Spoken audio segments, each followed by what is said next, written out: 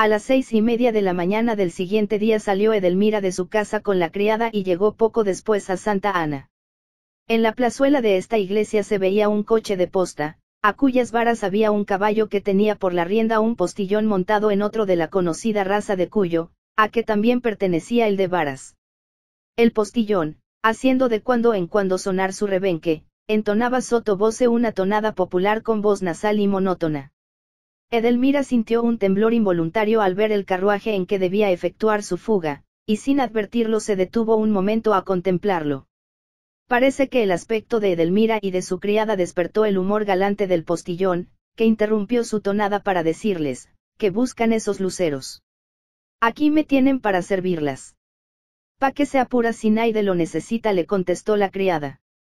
Edelmira salió de su contemplación con aquellas palabras y dirigió sus pasos hacia la puerta del templo. Adiós exclamó el postillón viéndolas marcharse, se van y me dejan a obscuras, tanto rigor con tan bonitos ojillos. Y él, tan fresco que lo han de ver replicóle la criada, mientras que Edelmira, asustada con aquel diálogo, apretaba el paso. Pocos pasos faltaban a la niña y su criada para llegar a las gradas de losa delante del frente de la iglesia, cuando se presentó Rivas, que sin duda desde algún punto vecino espiaba la llegada de Edelmira. Esta se puso lívida al divisarle tan cerca y se detuvo turbada. Martín aparentó sorpresa de aquel encuentro, para evitar las sospechas de la criada, y exclamó, Usted por aquí, señorita, a estas horas. Edelmira respondió con voz balbuciente y apartándose de la criada, a quien parecían no haber disgustado las galanterías del postillón, hacia el cual volvía la vista con frecuencia.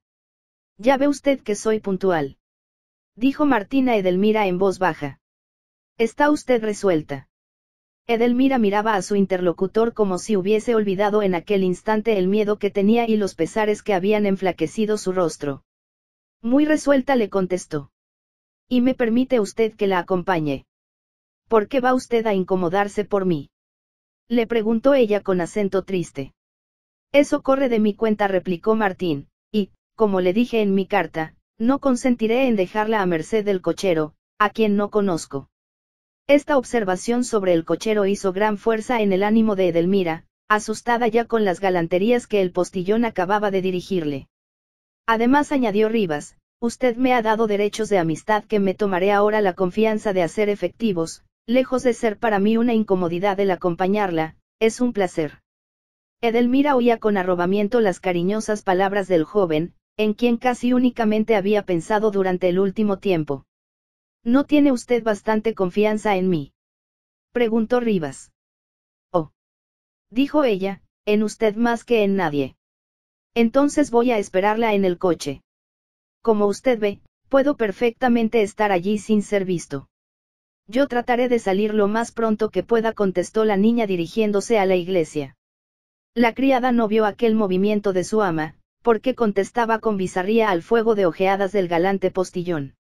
Al ver pasar a Martín, siguió no muy contenta a Edelmira, que había entrado ya a la iglesia. Espéreme aquí, le dijo ésta señalándole un punto, yo voy a buscar al confesor, luego vuelvo. Martín, entre tanto, había entrado al coche y esperaba. Edelmira tendió su alfombra delante de un altar y se puso de rodillas en oración. Después de pedir al cielo, en ferviente plegaria, su protección y su amparo, después de pedirle valor para el paso decisivo que iba a dar, se levantó, recogió la alfombra y fue a colocarse junto a un confesionario, desde el cual podía ver a la criada que había quedado esperándola. La criada se entretenía mirando los santos de los altares y ocupada, como lo está generalmente la gente de nuestro pueblo, en no pensar en nada. Aprovechóse entonces Edelmira de la distracción de la criada para dejar el confesionario y dirigirse a la puerta de la iglesia, observándola siempre. Las devotas que principiaban a llegar, vestidas todas de basquiña y mantón como Edelmira, favorecieron su salida con su movimiento de idas y venidas al través del templo, que miran la mayor parte de ellas como su casa. Edelmira se halló en la plazuela con el corazón palpitante y el cuerpo tembloroso como la mirasen con curiosidad los que pasaban y las que entraban a la iglesia, juzgó que era más prudente obrar con resolución y se encaminó directamente al coche. Abrióse la puerta de este, subió Edelmira y Rivas dijo al postillón, marcha. Los caballos, oyendo sonar el rebenque, partieron a trote largo. La criada de Edelmira, cansada ya de mirar los altares, miraba en ese momento al Lego que andaba encendiendo algunas luces y pensaba que el postillón era más buen mozo que el Lego. Y parece que el postillón, que tan pronto había cautivado la preferencia de la criada, ayudado de la instintiva malicia de la gente de nuestro pueblo, hacía caritativas suposiciones sobre la pareja que conducía, porque, improvisando una variante a una conocida canción, entonaba, acompañándose con el rebenque, me voy, pero voy contigo, te llevo en mi corazón, si quieres otro lugar, aquí en el coche cabimos dos. Edelmira había ocultado el rostro entre las manos y pugnaba por contener los sollozos que se agolpaban a su garganta. Martín esperó que pasase un tanto aquella explosión de un dolor que respetaba, y habló solo cuando vio más tranquila a su compañera de viaje. Todavía es tiempo de volver, le dijo, ordene usted, Edelmira, yo estoy a su disposición. No crea usted que me arrepiento, contestó la niña, enjugando las lágrimas de sus ojos, lloro de verme obligada a salir de mi casa. Si usted tiene confianza en su tía, repuso Martín, espero que todo se arreglará como usted lo desea. Como yo lo deseo, no dijo Edelmira, fijando sus ojos en Rivas con singular expresión, pero me libraré del casamiento. Lo demás puede venir después. ¿Quién sabe? Esta exclamación de desconsuelo fue acompañada de un suspiro. De manera que usted ama con pasión, dijo Rivas vivamente interesado en el amor de Edelmira, al que, como dijimos, hallaba analogía con el suyo. El rostro de Edelmira se cubrió de encarnado. No se lo dije en mi carta, pues. Contestó bajando la vista. ¿Y sin esperanza? Preguntó Martín. En ese momento se oía más acentuada y clara la voz del postillón, que repetía, haciendo sonar el rebenque, si quieres otro lugar, aquí en el coche cabimos dos. Cabimos dos, guayayay.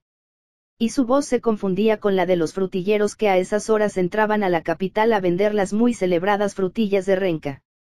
Edelmira y Martín se habían quedado en silencio, oyendo la voz del alegre postillón. ¿Se acuerda de haber oído esa canción?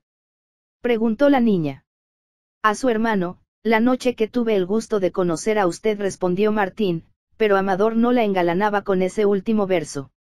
Vaya, tiene usted muy buena memoria. Que usted había olvidado esta circunstancia.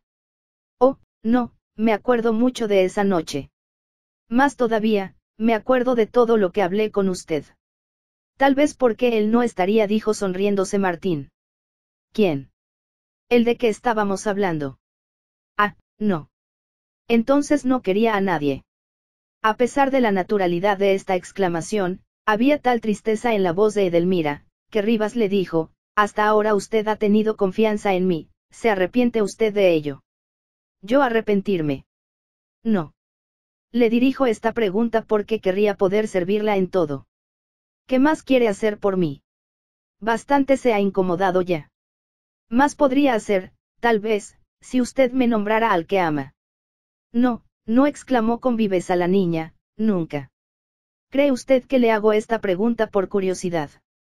No, pero, vaya, no insistiré, pero créame que no ha sido curiosidad, sino la esperanza de poder servirla. Se lo creo, Martín. Dispénseme si no le contesto, pero es imposible ahora dijo con sentido acento Edelmira, y luego añadió, dando a su voz ese tono de afabilidad que empleamos con una persona a quien tememos haber ofendido. Se lo diré después, no. Dígamelo solo si cree que puede serle útil que yo lo sepa. Bueno. Pero podemos hablar de él sin nombrarle, repuso Martín, pensando que no podría haber ninguna conversación más agradable que aquella para Edelmira. Eso sí contestó ella con una sonrisa. Hablaron entonces alegremente.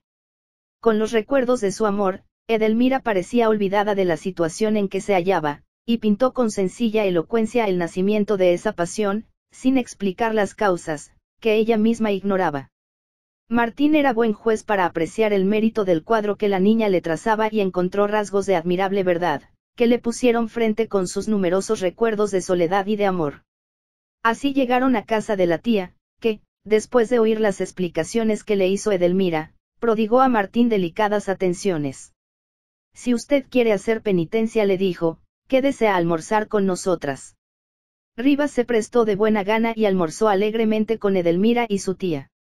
En los platos que le presentaron, en la gran canasta de frutillas que esparcía su aromático olor por toda la pieza, en los muebles que la adornaban, en todo halló el joven un aspecto agreste que ensanchó su corazón.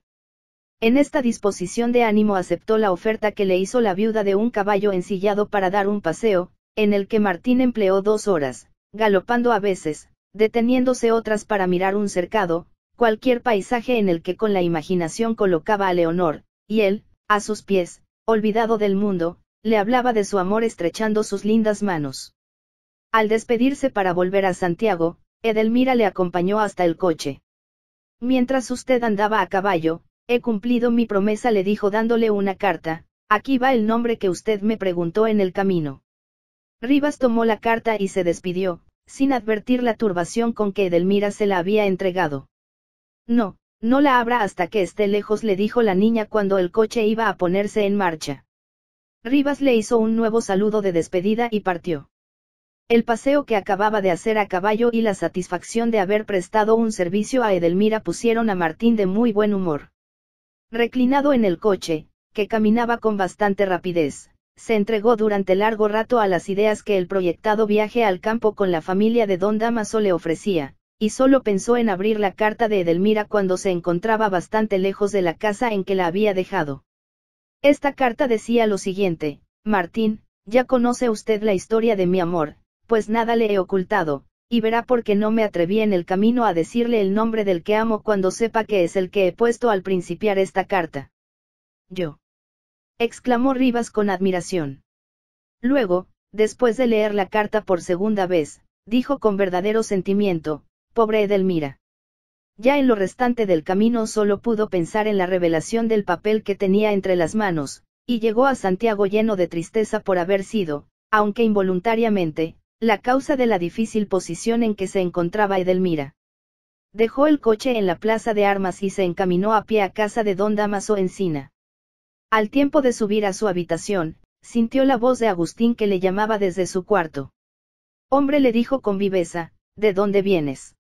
He estado fuera de Santiago, ¿por qué me lo preguntas? Contestó Rivas con inquietud. Agustín cerró la puerta de su cuarto, quedaba al otro patio que comunicaba con las habitaciones interiores, y después, acercándose a Martín, le dijo con gran misterio, voy a contarte lo que ha pasado.